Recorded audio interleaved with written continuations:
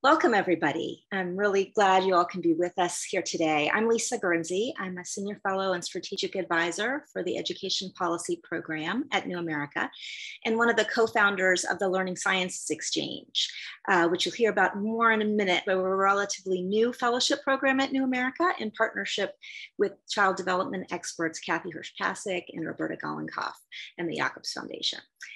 So we are really happy to be able to bring you this book talk today. This is being um, held and hosted in partnership between the Learning Sciences Exchange, um, as well as the National Fellows Program and Future Tense, which is a partnership of Arizona State University, New America, and Slate.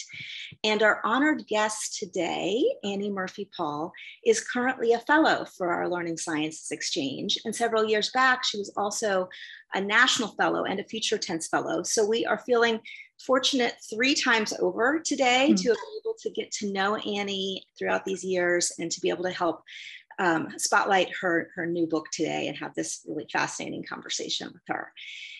The Extended Mind, Annie's book, comes at the perfect time as our pandemic produced habits have led many, many of us. I know that this is happening for me to be just kind of sitting on our laptops for hours, um, typing or zooming away. And it turns out that's probably not so good for helping us become better thinkers. So Annie's book um, uses findings from neuroscience and cognitive psychology to help show us a different way. And then know you'll be I'm, I'm, learning a ton myself. I'm near, near the end of this learning this. I'm so excited to hear more from Annie today.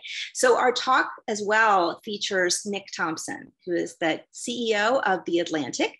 He will interview Annie about what she's learned and why it matters. And they'll probably chat for about 35 to 40 minutes or so.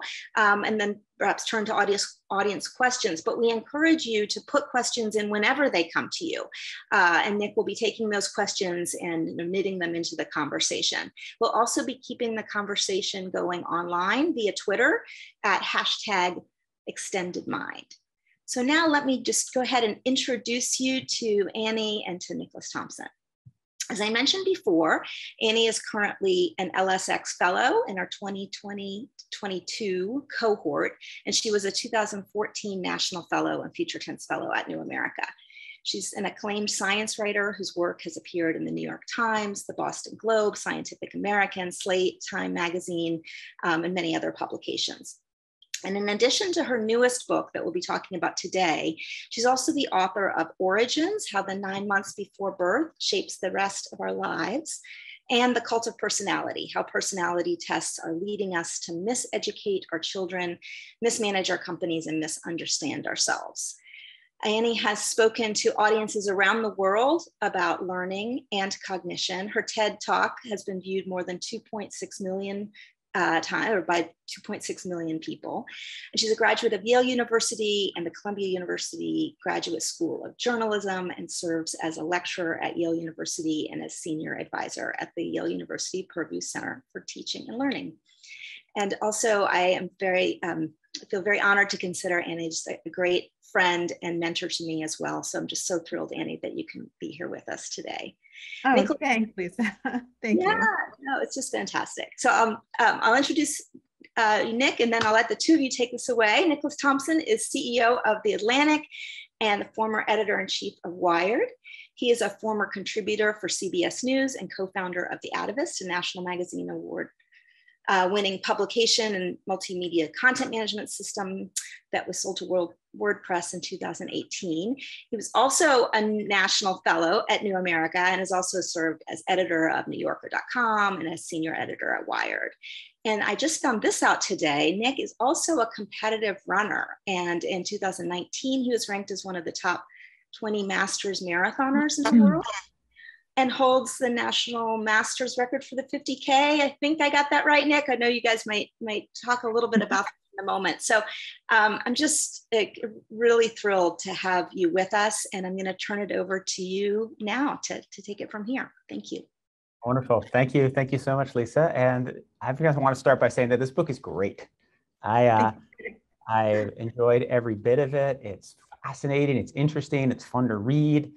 I learned a lot from it. I figured out new ways to talk to my kids. And it also is very useful because I gesticulate wildly and have my entire life. And this is the first time there's been a Mhm. real scientific justification for the crazy stuff I do with my hands, which normally drives people crazy. So thank you, Annie, for all of that. You're so welcome, Nick. I'm so glad that the book could do that for you. Yeah, you're quite kind. Let's begin just by explaining the inspiration for the book and the general argument. Let's let everybody have the basic framework for why you wrote this fabulous book and the brief version of what it says.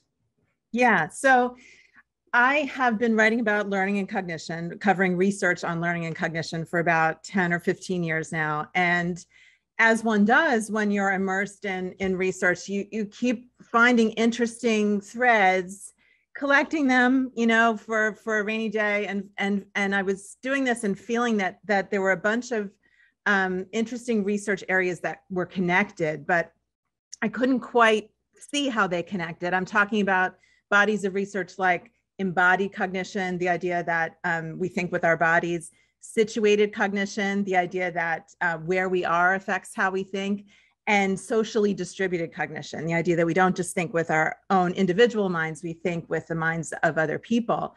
And it wasn't until I read an article written by two philosophers, Andy Clark and David Chalmers, that was published in 1998 called The Extended Mind, that all these pieces came together for me. And the I was arrested by the very first line of that article, which said, Where does the mind stop and the rest of the world begin? And you know, that would seem to have an obvious answer that the mind stops at the skull. It's contiguous with the brain, but Clark and Chalmers were saying no, that's not the case. Thinking is spread across the body, across our surroundings, across the minds of other people, our relationships with other people. And we need to radically expand and change our notion of where thinking happens, how thinking happens. And this to me was the big idea that brought all these pieces together for me in a way that I knew that that was the book that I wanted to write. Okay. Wonderful, very concise and clear. Let's go to the next obvious question, which is thinking extends beyond. Explain how thinking extends to the bookshelf behind you, maybe the vase behind you, and also to your hands. Yes. Well, starting with the bookshelf, you know, a professor that I was uh, communicating with on Twitter told me, and this relates to what Lisa was saying about how, in a sense, the pandemic was like this vast natural experiment where we all became as philosophers like to say, brains in vats. You know, we were cut off from a lot of the mental extensions that usually aid our thinking. And so this professor was saying to me that he was not able to go into his office because of COVID. And he realized that his books that surround him in his office and the way that they're arranged constitute an extension of his mind. And without his books there, you know, arranged in a certain pattern that he was able to access while sitting there, he couldn't think as well. So that to me was a beautiful example of how we use space as a mental extension. Um, and then to talk to uh, address your point, Nick, about gestures, and I, I gesture a lot too. So I too was very happy to read this line of research about how um, you know we we we have constructed a very brain bound society in the sense that we we do believe and and act as if all thinking happens up here in our heads. But um in and you know um congruent with that brain bound approach we treat hand gestures as kind of um, a clumsy accompaniment to our our thinking and our and our speech. But in fact our gestures are part of the thinking process. They're an integral part of the thinking process. And our gestures are, ac- are actually often one or two steps ahead of where we are in terms of formulating a thought in our heads and having the words to, to put to that thought so that it's often the case that our most advanced, our newest, our um, our sharpest kind of ideas about an idea or an explanation show up first in our hands and then we can kind of read off that self-created information to inform our emerging verbal explanation of, of what we're trying to say so we really want to be gesturing and encouraging our kids to gesture as much as possible All right. I'm sorry if this next question sounds like I'm like stoned in a dorm room, but if the idea is that sometimes our thoughts begin with our gestures and then go to our brain, what causes the gesture if not the brain? Well, yeah, I want to be clear that I'm not saying that the brain is not involved or that the brain is not central to thinking. It's it's um, you know, to me, it's it's a question of the role that we imagine the brain playing, and central to our imaginings are the metaphors that we use to to describe how the brain works and the the conventional metaphors that we so often use to describe the brain and thinking are things like the brain is a computer. The brain is a muscle. And both of those very common metaphors locate thinking in the brain and as if it all happens here first and then messages are sent outward from the brain and that's how thinking happens i like to propose a different kind of metaphor. I have a couple of metaphors because I think they are so important. One would be the brain as orchestra conductor. It's like the central actor, but it's not doing it all itself. The brain is bringing in uh, external resources to to support and augment its own abilities.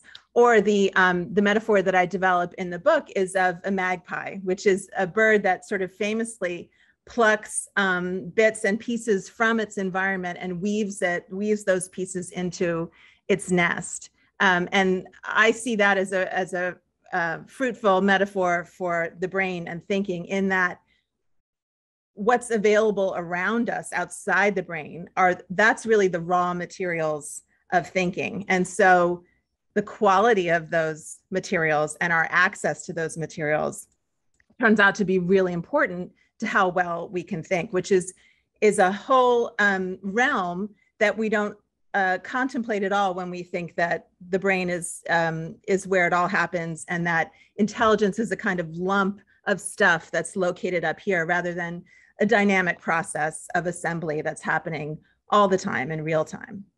I I I was very pleased from that book to have the image that my brain is a magpie picking up trash on the street and right. and making something beautiful out of it. right.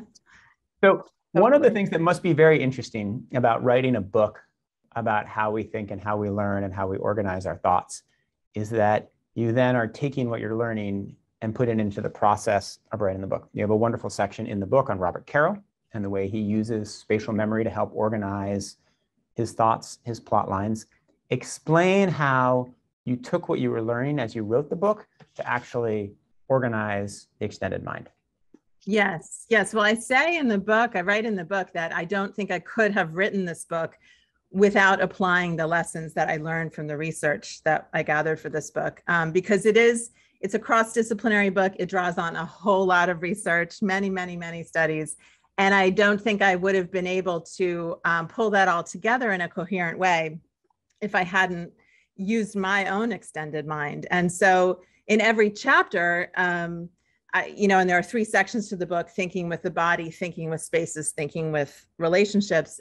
Every one of those resources um, became important to me as I was writing the book. I mean, I'll just give you a couple of examples. One is that I started to add some physical movement and activity to to every day, which you know is very easy to to leave out if you feel like you need to get work done. But what I came to understand was that my work, my thinking would actually be enhanced and I would actually um, make more progress if I stopped and took some time to, um, in my case, take a bike ride. I really love biking. And, um, you know, uh, Steve Jobs, the Apple founder, said that um, a computer is a bicycle for the mind, um, meaning a, a, computer is a machine that makes the mind go faster. And I, I always like to say that a bicycle is a good bicycle for, for the mind because it was always when I got on my bike after a day of being immersed in these studies and thinking about them and analyzing them that it would all kind of come together. And um, then the only problem was remembering remembering my insights, you know, until I could get, get back to the computer. Um, but then that second uh, section about thinking with spaces, I did reorganize my home office to um, in reflect to reflect some of the research that I had uh, gathered and write about in the book. Um, in particular, the stuff about filling the space where you work and where you learn with cues of identity and cues of of belonging um, that remind you who you are in that space, what you're doing there. I um I have I put up some of some clips of my previous work. I have my LSX um, Learning Sciences Exchange mug. You know, that's one of my cues of identity. Um, and I also made a lot of use of something I write about in the book in a chapter called Thinking with the Space of Ideas, uh, a technique called cognitive offloading, which just means that it, it's really helpful to get all that stuff in your head out onto physical space, whether that is um, a multi-monitor computer setup or a whiteboard or my own um, favorite tool, which is a bunch of post-it notes, um, because you know the brain evolved not to sort of sit still and think about abstract ideas, but to do things like manipulate physical objects and navigate through three-dimensional landscapes. So when we can turn ideas and information into something more like objects or something more like a landscape, then we can use all of those embodied resources. You know, you mentioned Robert Caro, and I write about how he has this gigantic corkboard on which he lays out his very, you know, intricately plotted books um, from beginning to end. And it's so big that he can actually sort of walk along it. He can lean in and lean out. And when he does that, when any of us do that, we're using our embodied resources that are remain dormant when we're just sitting there, sitting still, um, and and keeping all that information inside our heads. So, and then finally, you know, I did, um, I did, I tend to be a uh, a solitary person when I'm working. You know, I, I'm a freelance writer and have been for many years, but um, the work that I did, the research that I did on socially distributed cognition convinced me that um, sort of running one's ideas through the minds of other people, creating these cognitive loops where you're passing information through the body, through physical space, through the minds of other people. That's how that's how ideas get improved and get elaborated and enriched, um, elaborated upon and enriched. So um, largely with the help of um, of my fellowships at New America, actually, that's been a really fantastic source of of um, mentors and peers that I've collaborated with over the years now. But how is that different? I mean, I don't think anybody would argue that if you have a good idea, you should discuss it with friends and pressure test it and see if they can improve it. How is what you're saying about how ideas spread different from the conventional idea that it's good to talk to people about your hypotheses and test them?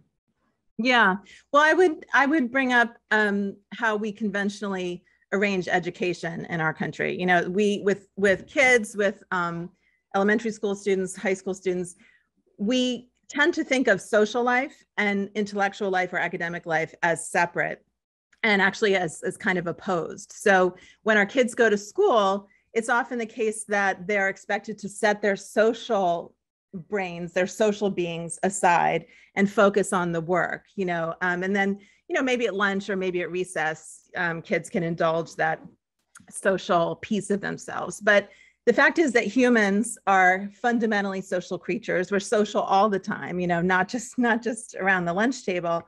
And teenagers in particular are exquisitely attuned to the social world. And that's what their brains are sort of wired to be thinking about. So I think, you know, it's it's actually it is a quite um, unconventional idea to propose that we should really be not excluding social life from the classroom, but bringing it in through social activities like storytelling and uh, arguing and debate and um, teaching other people. And not to say, not at all to say that teachers aren't are already doing this, but we do have this assumption that social life is something sort of frivolous and anti-intellectual. And you know academic life and intellectual life is over here. And what i'm proposing based on the research is that we should be leveraging kids uh, social natures students and workers social natures in the service of um, learning and working and thinking rather than treating them as if they're separate domains makes sense when my 11 year old came back from his first day at school last week, I asked him what his favorite thing he did, and he said recess. And I kind of rolled my eyes, like, but actually, clearly, I should have been supporting him.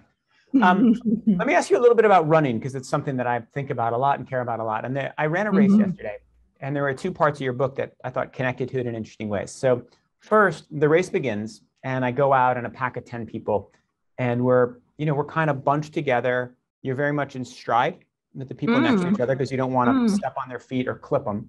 Uh, mm. you're running exactly the same pace. And I'd always learned that the reason you do that is for what wind resistance, right? Both stopping the wind in front of you and if there are people behind you pushing wind into your back. And then secondly, because if you know that the group is running the right pace, you don't have to stress, right? So it gives you one less thing to think about. But you argue in the book that there's a third reason to do that, which is that when humans synchronize their activities, they're actually more efficient. Is that a proper way to read it? You know, I had never thought about synchronous movement as applied to a running race because in that case, you guys are competitors, right? You're not seeking necessarily to think together, but uh, when I so when I write about synchronous movement in the book in a chapter called Thinking with Groups, um, the idea there is to look at how synchronous movement has been used by institutions like the military and like churches and all kinds of human groups that um, have figured out a way essentially to hack our um, our natural instinct for moving together and thereby um, sort of extending our own identity to to include the group so that when we um, move together in this in the same way at the same time it's it, it's a trigger for us to think that we are in some way like the people that we're with. We tend to feel more positively about them. We cooperate with them more. We're more generous and pro- social with people that we've um, with people that we've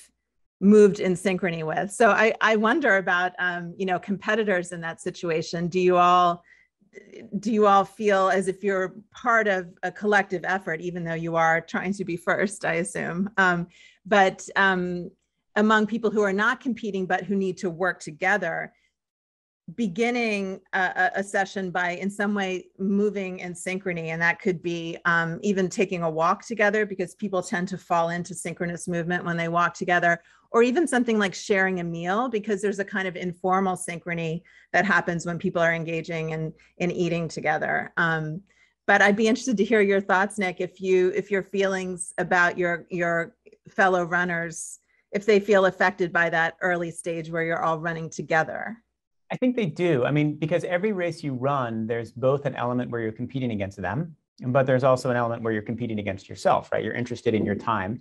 And then secondly, to a certain degree, each group is competing against each group, right? So I was out in a hmm. pack and then hmm. there's a pack behind us. And it's hmm. in the interest of everybody in that front pack of 10 to be 10 seconds ahead of the second pack or 12 seconds hmm. or 14 seconds. So there is an aligned interest, even though at the end, when the race spreads out, you're very much competing directly against each other. So you switch from cooperative to competitive, I think, during the race. Hmm. Um, but one more running question. Okay, so here's the hmm. other thing that I was super interested in, which is so when you're running, the relationship between the body and the brain is very interesting. When you're running at a slow pace, as you point out in the book, and as Daniel Kahneman has written about, or when you're walking, when you're at a relaxed pace, you can be more creative, right? It, mm-hmm. it frees up mental resources. But there's a certain pace where you sort of lose the ability to be creative, right? And so you begin to focus more inwards. And mm-hmm. for me, sometimes I start to focus on, like in a race, not just a jog, but like, where is the pain coming from? Is it coming from my knee? Is it my stomach, right? And trying to, at, at a certain point, you, the only thing you can think about is what hurts and where it hurts, right? And I'm not clear there what is the brain and what is the body, right? Is it the body sending mm-hmm. a signal to the brain? Mm-hmm. So the line gets really close. And then at the very end, you know, the last mile or two, when you're going all out and you're sprinting fully, your mind just, you know, collapses. You write of it in some ways as like a void. Mm-hmm. And there is nothing happening in your mind. Really, you're just kind of trying to propel yourself forward. What exactly is the relationship between the body and the brain at that point in a race when you're at total exhaustion? Yeah. Wow. That's so interesting to hear you describe it as a, as a real runner. I mean, that, that phenomenon that you're describing, scientists call that transient hypofrontality. And that, that's a reference to the fact that um, hypo means low or diminished and frontality refers to the prefrontal cortex, which is the part of the brain that, um, you know, controls things like making judgments, making analyses, kind of um, setting limits. And so when you're exerting your body to such a degree that the brain can't really do anything except manage the effort of of what of the physical activity that you're undertaking that dials down the activity of the prefrontal cortex and that can produce a state that scientists liken to dreaming or like a drug trip where that you know the the um, usually ever present kind of um, monitor hall monitor who's like kind of keeping everything in its place is absent temporarily or dialed down. And so those ideas and thoughts can sort of mingle together in new ways. And so some some runners um,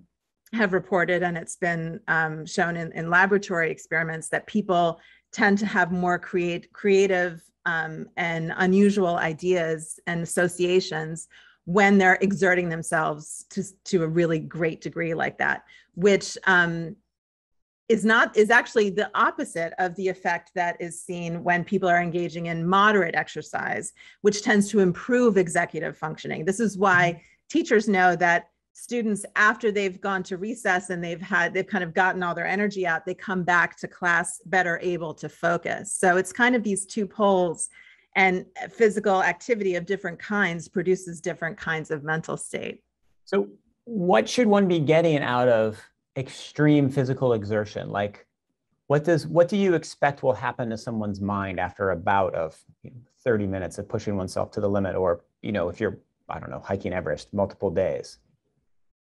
Well, it's interesting you, you mentioned men, multiple days because um, there's there's a slightly different strand of research that shows that three days spent um, engaged in physical exertion, especially in the outdoors, tends to to promote greater creativity. And part of that is just being away from our devices, you know, which tend to channel our, our thoughts and distract us in ways that that are not good for creativity. But um, you know the the the idea is that when you're engaged in that kind of really extreme physical exertion that you will come up with ideas and associations that would not be available to your to your mind as it as it would be operating while sitting at your desk i mean uh, have you ever i'm curious nick whether you've ever experienced um, having some kind of insight or creative um, breakthrough when you're when you're running does that happen Oh, absolutely. Yeah, no, the most I I don't know, I wrote my wedding speech while running. I, you know, the the mm. best essay I've ever written, the core idea came while I was running. So mm. um, absolutely. Yeah. But hmm. not when I'm running hard, when I'm running hmm. easily. You know, when I'm running hmm. hard, I the amount of useful thoughts is zero.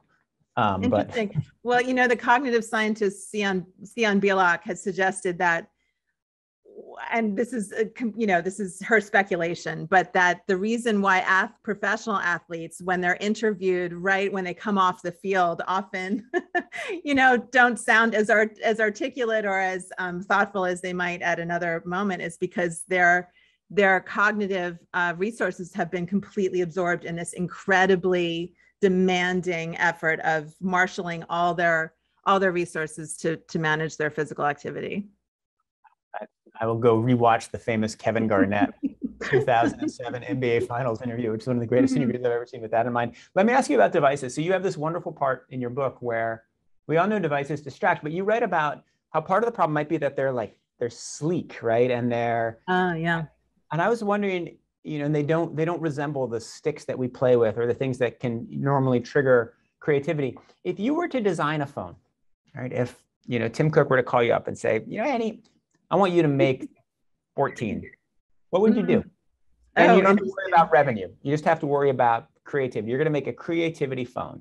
Oh wow. Well, I have a couple thoughts on that because you know the the the part of the book that you were originally referring to there was um, the part about the value of fidgeting and these kind of you know we've been talking about physical movement and how it affects our thinking, but there's also an interesting strand of research about how kind of micro movements of of fidgeting actually um, can enhance our thinking as well because they're a very fine grained way of modulating our arousal up or down or changing our physical state. It's a kind of play, you know, can create a, a state of mind that's more expansive, more open to new ideas.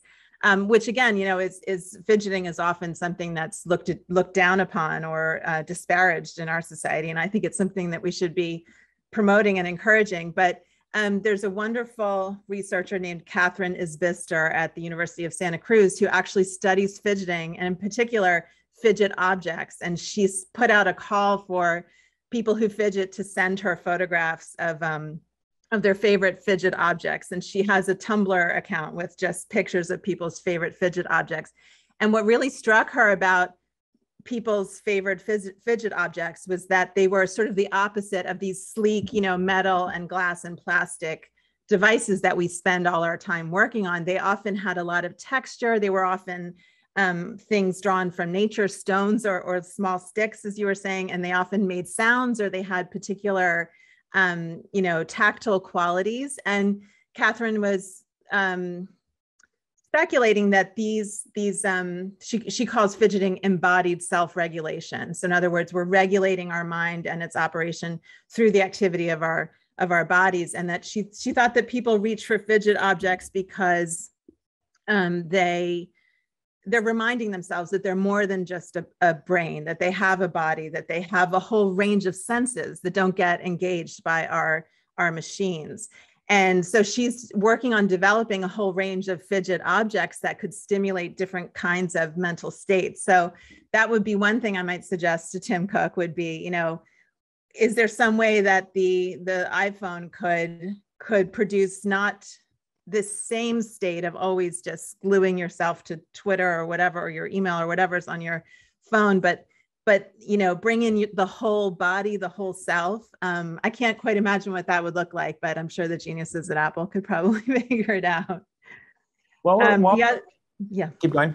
Keep going. The well, other? the other the other piece I was thinking about, I I actually originally thought you were going towards this idea that I propose in the book called um, extended technology, like we extend our minds, our technology could be extended too. Our, our technology is kind of designed around around the same model that we apply to our brains this very brain bound model that you know we're we're supposed to use our technology by sitting still not interacting with other people you know not moving our bodies um, not be even being aware of having a body or the sensations that were that are arising in our bodies all the time um, but our technology doesn't have to be that way. We could extend our technology.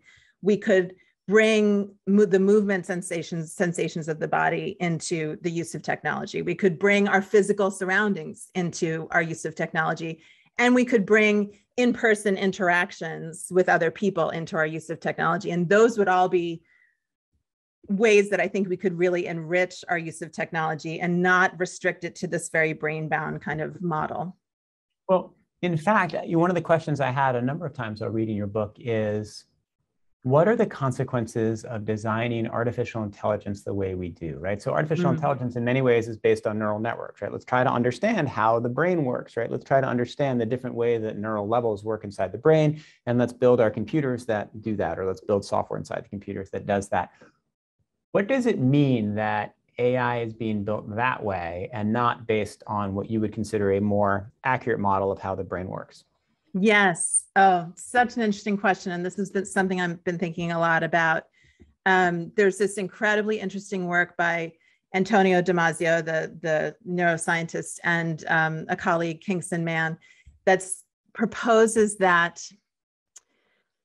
you know, AI researchers in developing artificial intelligence they I, I, this is me and not them i think that um, they were partially motivated by this brain bound mode and created artificial intelligence as a kind of idealized human intelligence with all our messy parts en- engineered out you know all the parts that we're sort of ashamed or embarrassed about like our feelings our bodies our vulnerability but it turns out and this is antonio damasio and kingson man's work that's the wellspring of a lot of our intelligence. And so when we engineer that out of, of artificial intelligence, we um, we end up with a kind of intelligence that is very brittle. It's not transferable to new situations. It doesn't know how to handle unexpected situations. We have computers that are really good at playing chess, but that are really terrible at interacting with other people or making their way through a three-dimensional landscape. You know, all these things that um, toddlers can do so brilliantly,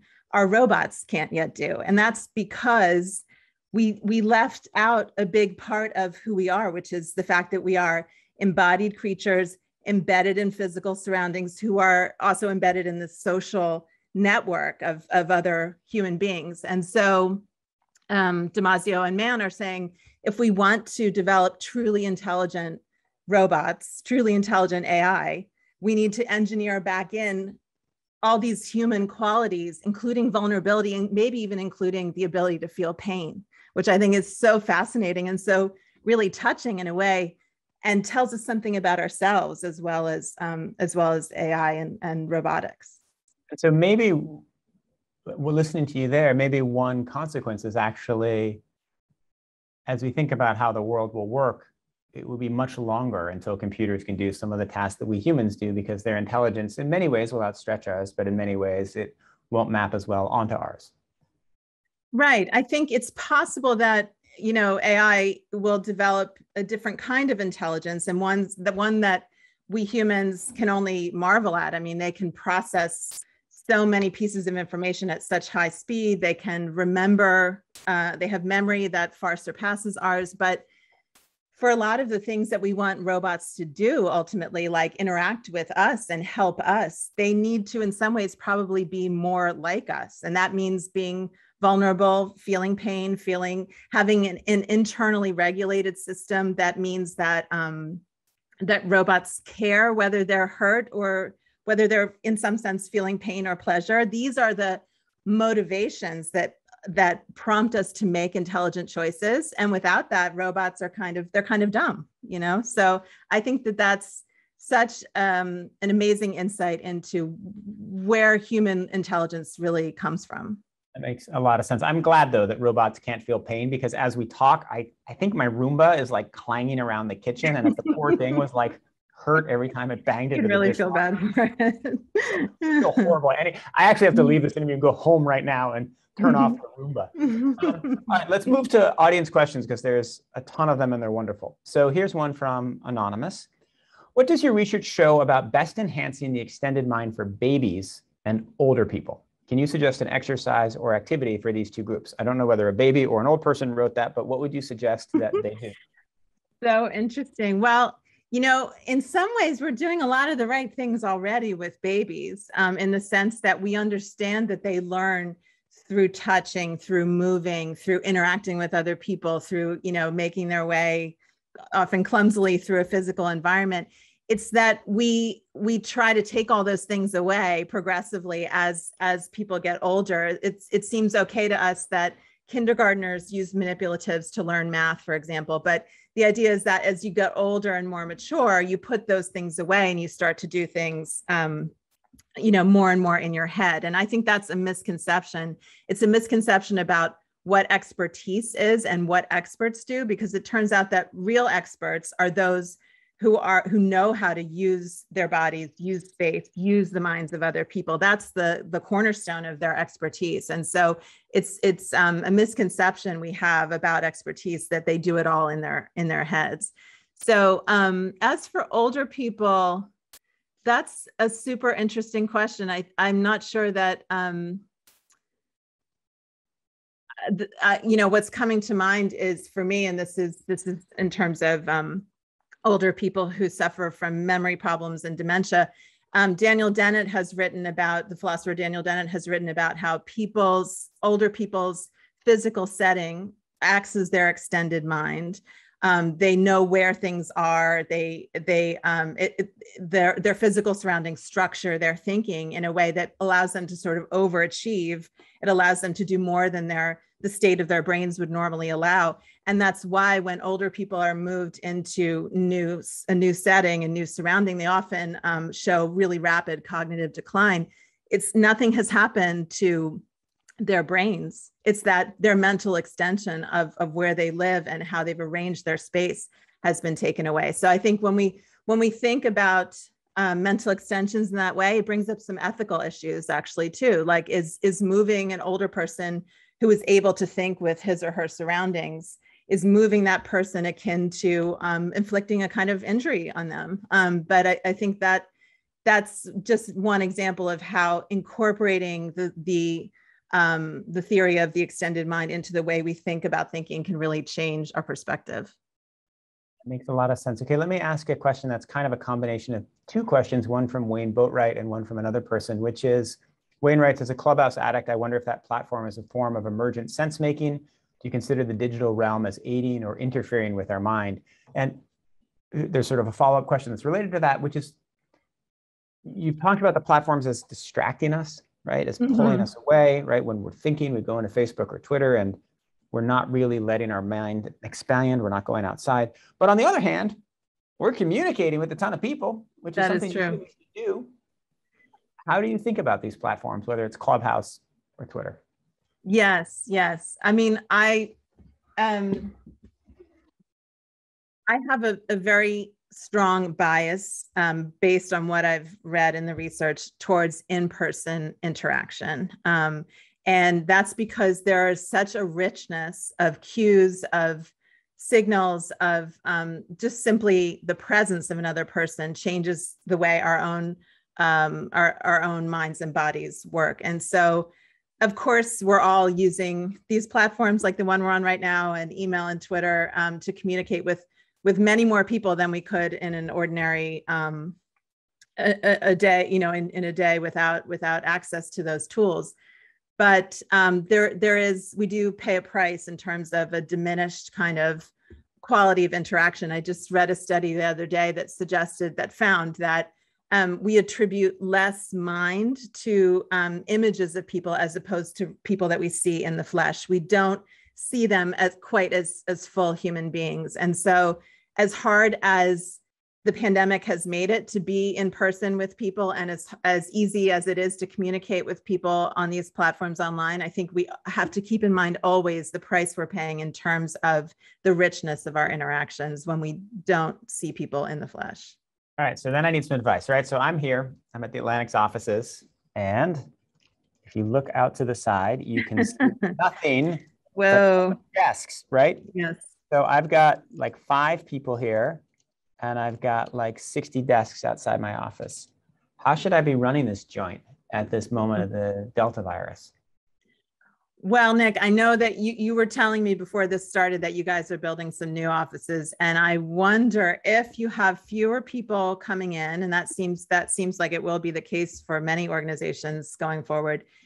Could you take some of that space and build some enclosed offices and not have it all open plan as that office that you just showed us seemed to be? Well, after reading your book, I definitely don't want open offices. My God, open offices are the Satan in this book, if I read it correctly. they are. They are. Yes, I write in the book about how open offices are really antithetical to getting serious, complex cognitive work done because human beings are wired to be distracted by novelty, by sudden movement, by especially by social interactions, all of the things that go on in an open office. And we we can't, this is an example of, of the biological brain's limitations. We can't prevent ourselves from being distracted in that way. And so we need to offload the job of protecting our attention and our focus to walls, you know, to enclosed offices, or at least have those um, available for when people need to be doing that kind of work. Because, you know, I write in the book about this very interesting um, idea of intermittent collaboration that um, it's not great to be on your own all the time. It's also not great to be inter- interacting with uh, with other people all the time. What we need is a kind of oscillation between those two states. And so i think the challenge for us as we sort of reinvent the workplace going as we return post pandemic might be to create spaces in which intermittent collaboration is supported. That makes, you got you can lead the way at the atlantic nick we are going to well when we move into our new offices we will we will have exactly that. All right i'm going to combine three questions into one because they're all good. So are psychedelics influential? Oh, are man. drugs in general beneficial? Cannabis etc and did you look at anything related to cosmic consciousness the field of oneness that those who meditate are trying to achieve it is interesting that that this topic or this book draws those kinds of questions because I certainly don't address any of that. Maybe it's that kind of um, psychedelic cover that is that is inviting those questions.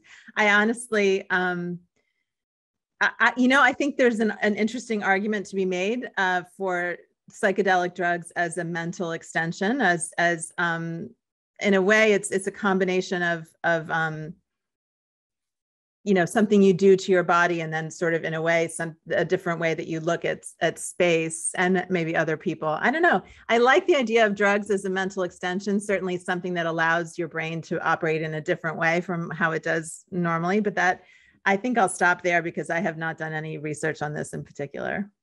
Okay. Um, well, here's a, here's a good one that I'm super interested in. This is from Michael.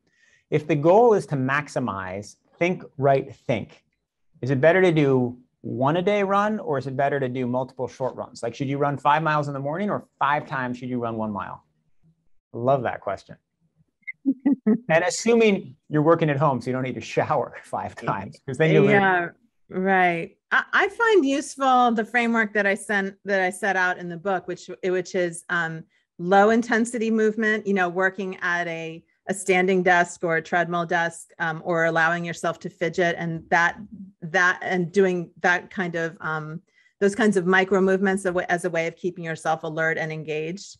Um, and then the moderate kind of moderate intensity physical activity that allows us to um, to sharpen our faculties and uh, Im- improve our executive functioning which might be a brisk walk around the block you know when you're taking a break from your work and then um, finally, that third category that you and I were talking about, Nick, where you exercise so vigorously that the prefrontal cortex kind of goes offline a little bit and you get that the benefit of that creative associative thinking which might mean the more intensive run in the afternoon. If you can work physical activity into all the um all you know as much as possible into all the spaces of your days i think that that that research suggests that that will improve cognition in different ways. That makes a lot of sense. Okay let's go to a question from jane l. Pollen who's asking what are the implications for learning in and through the arts? So we've talked a lot about learning different kinds of things but what if i'm trying to become a great painter? Maybe talk a little bit about your jackson pollock story Yes, yeah, good idea. So, um, one of the most gratifying things about writing a book is that you don't know until it goes out, until it's out in the world, who will respond to it. And one thing I found is that artists, um, people who are in the arts, have responded very positively to this book. I think because artists have always used all these outside the brain resources, they've always thought with their bodies with spaces with uh, in conjunction with other people. And so you know lots of artists have said to me you're just giving me the research to support what i already believe and what i already do. So i think there is a very a tight connection there between the extended mind and the arts. Uh, the jackson pollock story that nick was referring to is um, it's it um, tells the story of how he was at a low point uh, in his personal and professional life. He was living in in downtown uh, New York City and uh, happened to visit some friends out on Long Island, the South Fork, Fork of Long Island, and um, really was was um, stunned and and surprised by how it how it influenced his state of mind. And within a week or two, he and Lee Krasner had made arrangements to move out there and um, when he when Jackson Pollock was in New York City, he was right. He was working at an easel on these very intricately uh, patterned kind of um, designs. It was when he went out to Springs, Long Island, and was working in this converted barn that was full of light and um, views of the surrounding area, which was very, you know, undeveloped and and lots of natural beauty. Um, that's when he began um, his famous his series of famous drip paintings which um, you know it's it's a little too complicated to get into here but it turns out that those patterns that he made um, with the with the drip painting um, have a um, a quality a, a, complexity that is very similar to the kind of patterns that are found in nature. He was almost, um, he seemed to have been almost absorbing the kind, the pat, the way information is patterned in nature and transcribing that onto the canvas, which I just think is so incredible that um, he became almost this conduit or this channel for for nature and the way it affects us, and he captured that um, in an abstract form on on in his paintings. Wonderful. I should also add that the most creative person I know really well guy was my best friend from childhood, wonderful free jazz musician, is an obsessive fidgeter whole life. Interesting. Interesting. Uh, let's go to a question from Lisa, actually. The metaphor of the brain as a muscle has been used in education as a way to help students see that if they work their brains, then they can become better thinkers. That it's not whether you are just born smart, but that you can become smart or smarter. But you said that's not so helpful as a metaphor, right? Could there be a place still for the muscle metaphor, or is it better to go with the magpie? I love this question because Lisa has, I think she and I have debated this before, maybe on Twitter. Um, I know that the muscle metaphor is really meaningful to a lot of people and has really um, given a lot of teachers and a lot of students hope that um, you know it, it, really effectively does challenge the dogma that intelligence is fixed and what you've got is what you've got and that's it um, the problem that i have with the with the brain as muscle metaphor is that it is very brain bound. It suggests that um, you know everything that matters happens up here.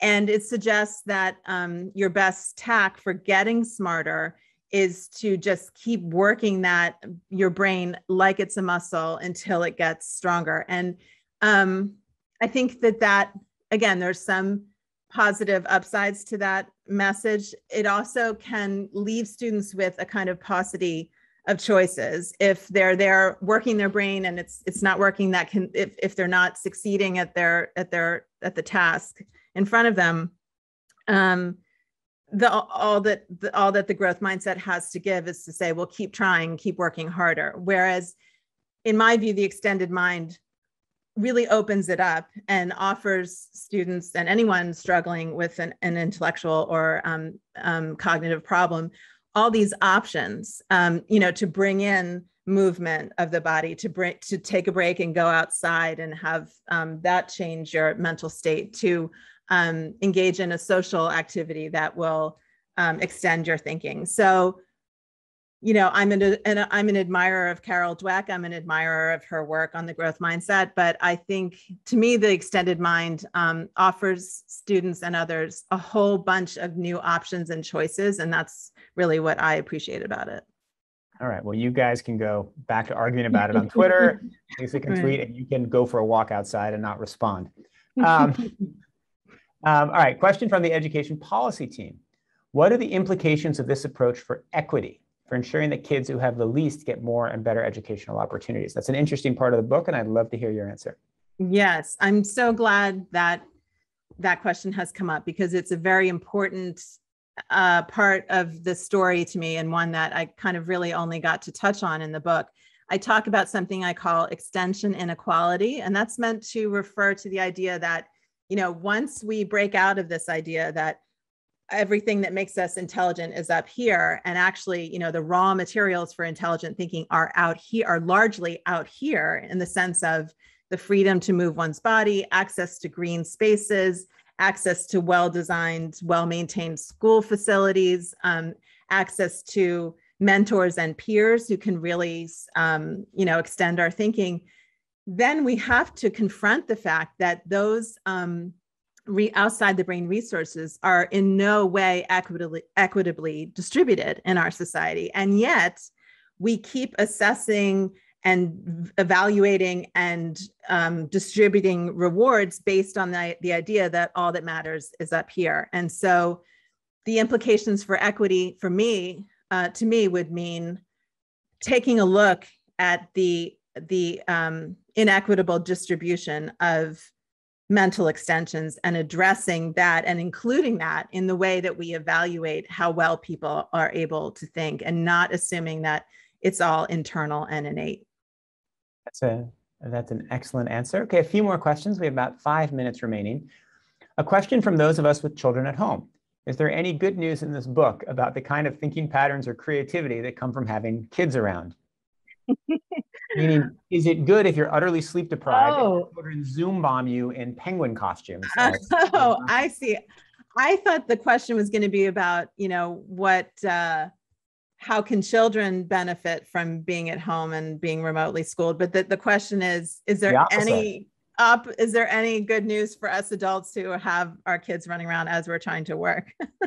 oh man, I say this as a mom who is really happy that her kids are back in school every day. Um, you know, I do. I, of course, I write in the book about the value of of interaction um, with other people, but uh, that's the tough one because I also write about how important it is to have that quiet and protected time to do our thinking, and that's what it's so hard to come by when there are when there are children around. I'm not really sure how to how to Oh. answer that one, except to say that I hope every kid who wants to be and needs to be back in school can can do that soon. Well, that leads to this question here from RB.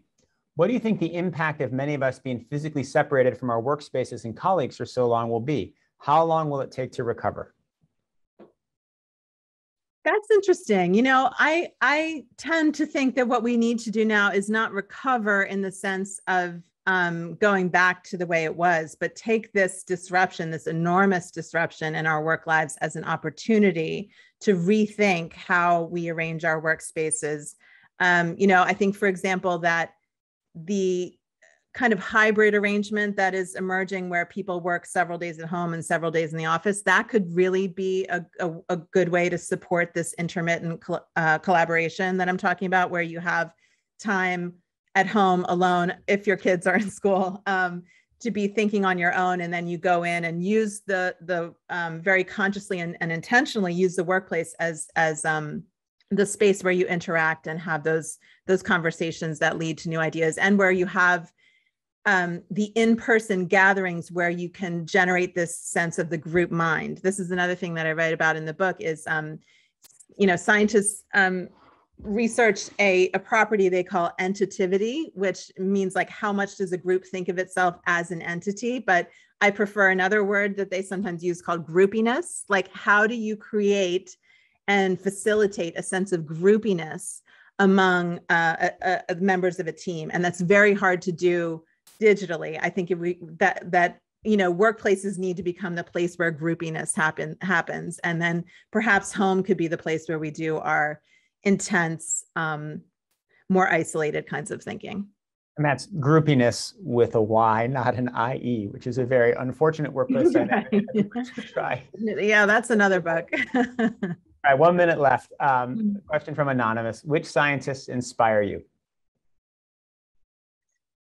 Oh, so interesting. Well, I'll, mention a scientist that I write about in the book, which is um, Carl Wieman. He's a physicist who has won the Nobel Prize, and he's also a professor of education at Stanford. And he has devoted um, these last years of his career, the most recent years of his career, and some of his Nobel Prize money um, to to um, improving physics education. And a key part of how he's doing that is bringing in social interaction because he realized that when his graduate students came to his lab, they were like just slightly improved versions of undergraduates. It, but within a year or two, they were like full fledged physicists, like his colleagues, his pe- almost like his peers.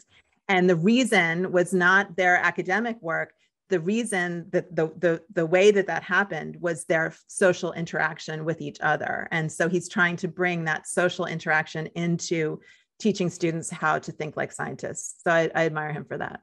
That is a great, wonderful answer. Well, thank you, Annie. Thank you, New America. Thank you, Nick. Everybody who asked all of your great questions. Everybody, please go read this book, talk to other people about it, and gesticulate wildly while you do so. Thank you for the wonderful conversation. Thank you, Nick. Thanks so much.